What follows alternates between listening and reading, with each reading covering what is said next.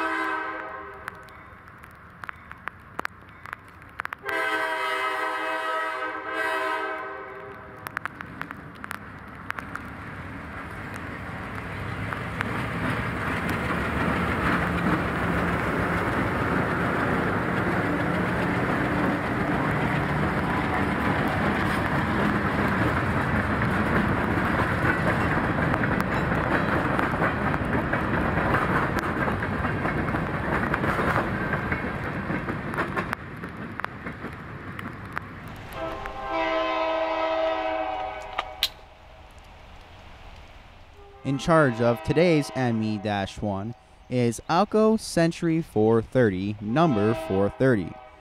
This locomotive was built in November of 1967 as New York Central 2050. Passing through the hands of Penn Central, Conrail, and NYSW before coming to the WNYP, this locomotive has a rich history along with her other C430 sisters. The Alco C430 model is a very rare model with only a handful of examples surviving to this day. The 430 is joined by sisters 431 and 432 to represent the C430s on the WNYP roster.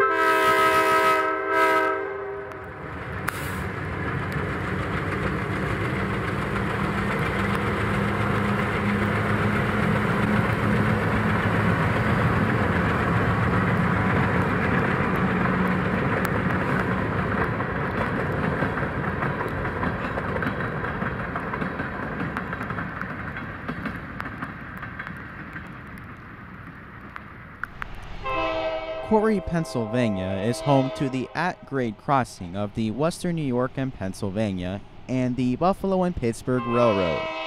The heritage of the predecessor railroads can be seen in the form of the signal systems, with WNYP having Conrail signals and Buffalo and Pittsburgh having Pennsylvania Railroad signals.